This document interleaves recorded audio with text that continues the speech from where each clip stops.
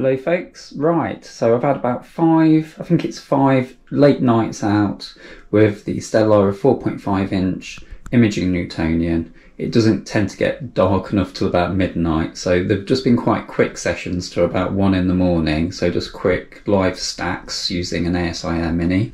Before I go into the results, I'll just quickly run through the setup I've got here because it's quite an interesting setup. From the ground up, we've got an NRL InnerROE tripod similar to the Stellar tripod. I've borrowed this really nice WarpAstron WD17 uh, harmonic drive mount. Everything else I own. This is the only thing borrowed apart from the, the coma corrector in there. So above that we've got the Stellar 4.5 inch imaging Newtonian.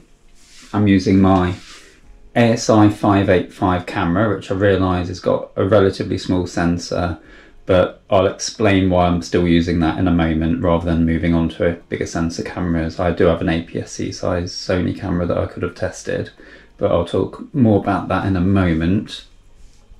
Now, the spacing for the coma corrector in there is 75 plus or minus 5 mils, and I've tried everything from 70 to 79 mil. And uh, underneath, I've got my fairly newly acquired ASI Air Mini, and that's clamped to the beautifully long dovetail on the, the Stella Lyra. That's really handy to have that length of dovetail because it does enable me to clamp the ASI Air Mini via an Astro Essentials Vixen clamp there. And I've got a William Optics finder, finder shoe there. All the cables, you'll have to excuse the cables, are all very excessively long. It's just what I had at hand. Uh, so this is a Skywatcher 50mm finder that I've used there a converter to turn it into a guide scope basically with my ASI 462 camera. That's my older camera. That works perfectly fine. Uh, I think that's pretty much it really. Oh yeah, I've got like a Lynx Astro power supply just strapped to the leg as well and just can just got cables dangling everywhere. So that's the rig. I'll, I'll talk to you now about my experience of using this and the results I've got so far.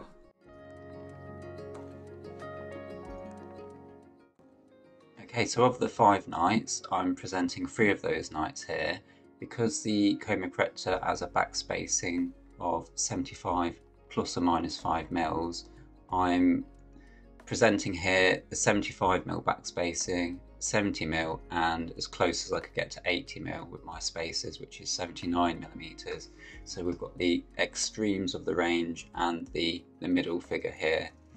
These three images were captured with the ASI Air, they're, they're live stacked images, just a handful of one minute exposures, stacked, guided, so the tracking the tracking's nice and accurate.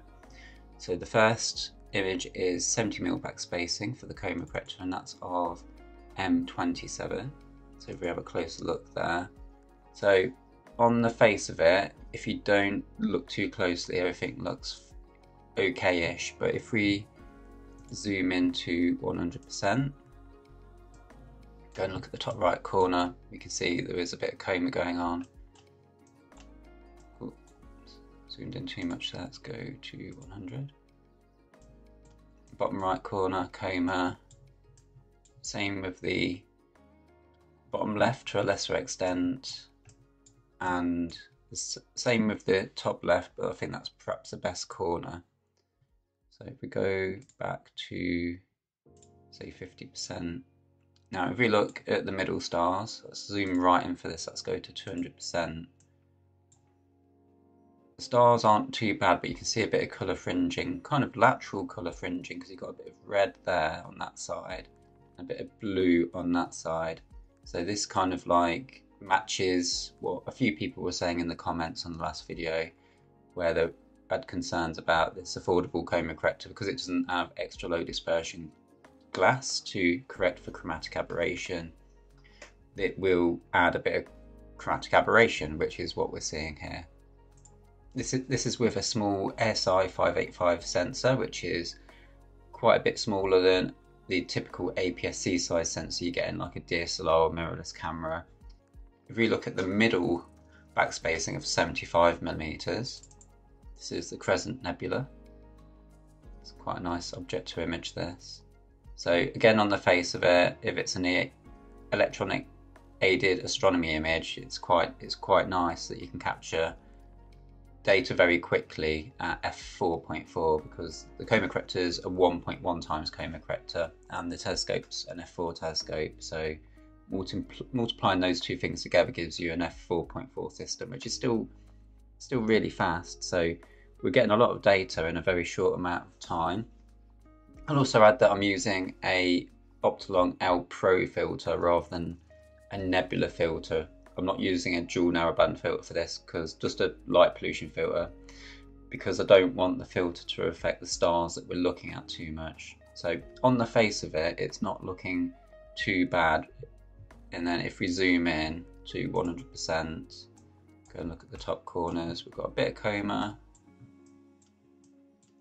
bit of coma in the bottom right, same on the, they're looking quite funky on the bottom left and yeah, not not perfect in the top left either, but not not too bad. But we are using a small sensor.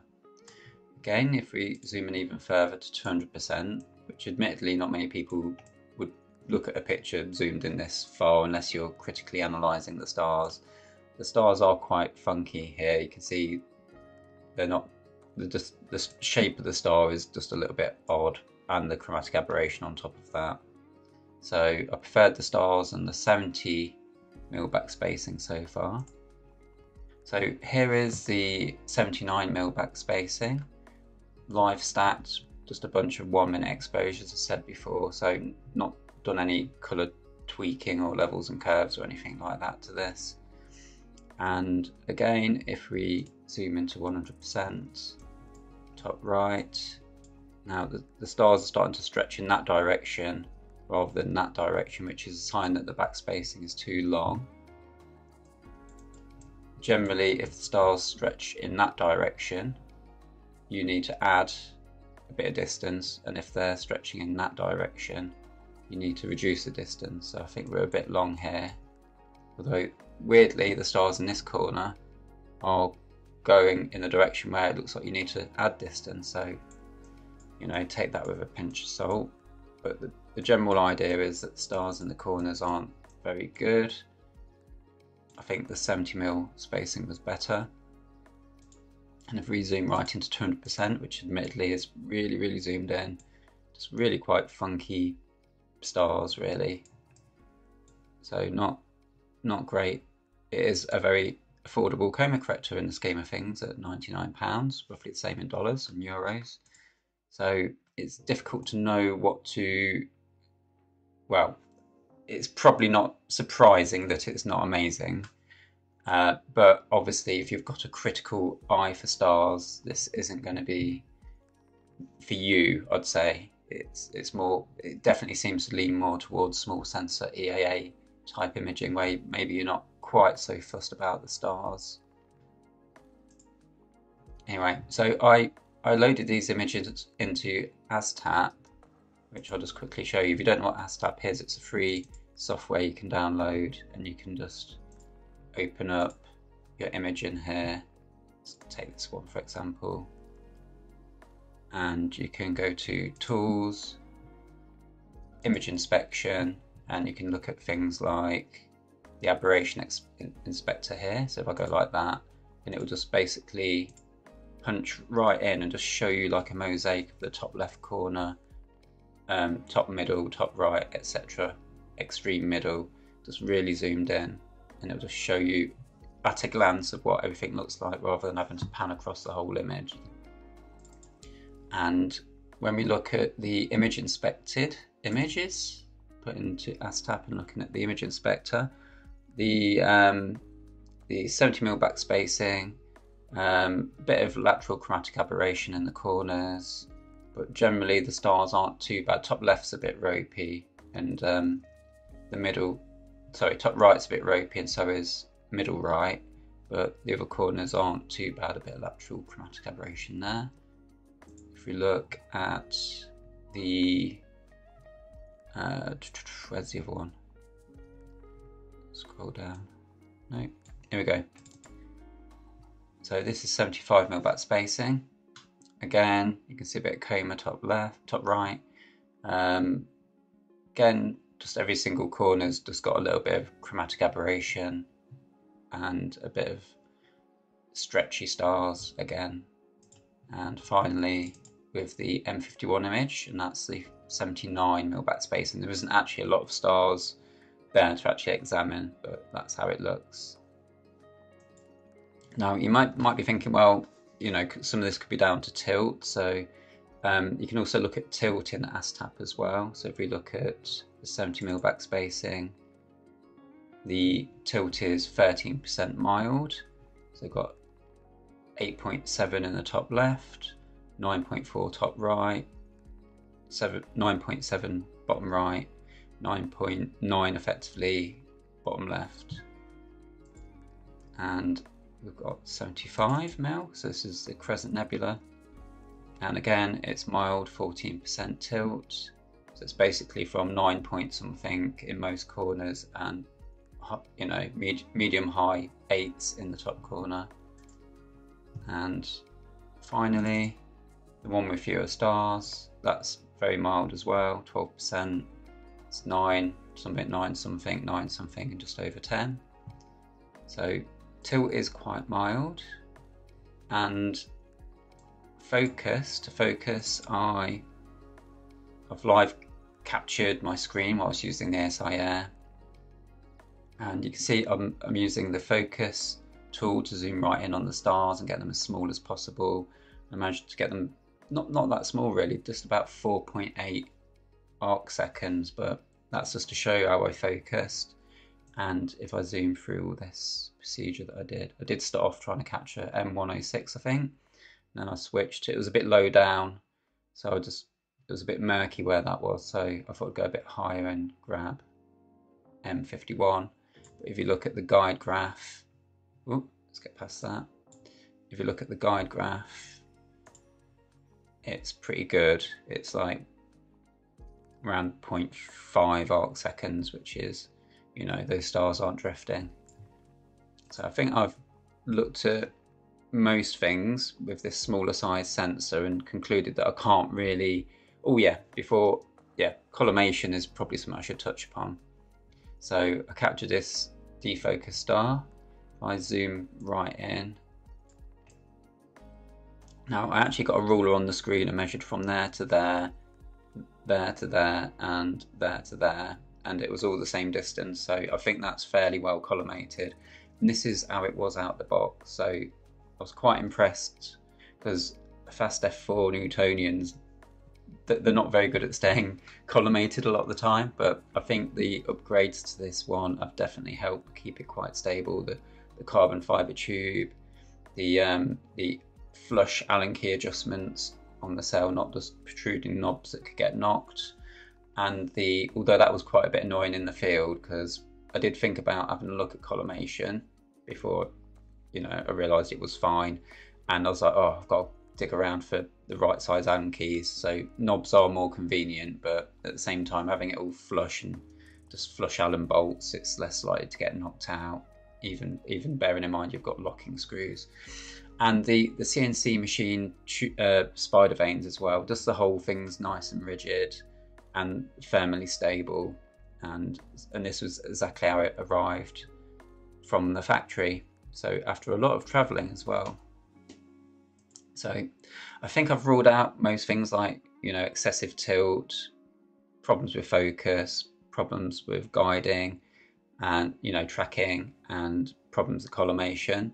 And I've looked at a, a good sample of the back spacing, which is 75 plus or minus 5 mil. So I've gone to those extremes either side to check it. I think the, the 70 mil is the best of the bunch, but still not quite perfect in the corners. So I wouldn't like to go up to a bigger size sensor because that's only going to get worse as it goes out. But I think we've concluded that the coma corrector, the affordable Stellar coma corrector isn't going to be a good match if you're using a larger sensor or if you're or you're going to be pixel peeping at the stars. But for things like EAA, it, it seems like it captures objects very quickly. Like I'm getting, you know, fully realized images of objects with very little data, like 20 minutes of data, and I'm getting a reasonable image up. These are just light frames, no darks, bias, or, or flats or anything like that, just quick EAA live stacked images. So for that kind of thing, I think it works really well actually. And because uh, that f4.4 focal ratio is just going to be sucking in the light for its given focal length. It's capturing a lot of light for its given focal length. But for what I'd call hardcore critical astrophotography, I don't think this setup is right at the moment for that.